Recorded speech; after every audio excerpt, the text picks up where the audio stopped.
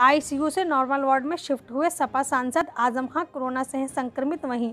लखनऊ मैदानता अस्पताल में भर्ती कोरोना संक्रमित जनपद रामपुर के सपा के वरिष्ठ नेता सांसद आज़म खां की तबीयत में सोमवार को सुधार होने पर आईसीयू से सामान्य वार्ड में शिफ्ट कर दिया गया है। उनका ऑक्सीजन स्तर सामान्य है, लेकिन संक्रमण के चलते अभी भी कोविड वार्ड में रखा गया है।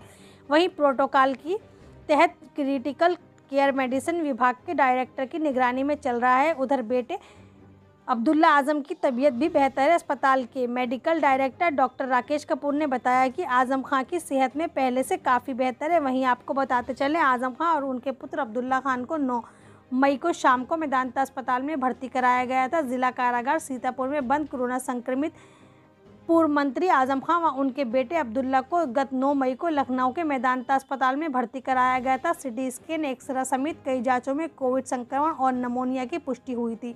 इसके बाद सांसद आज़म खां बेटे अब्दुल्ला को बेहतर उपचार के लिए लखनऊ में भर्ती कराया गया था। आज़म खां पिछले वर्ष से ही ज़मीन कब्जा करने और अन्य आपराधिक मामलों में अपने पुत्र के साथ सीतापुर के जिला कारागार में बंद थे।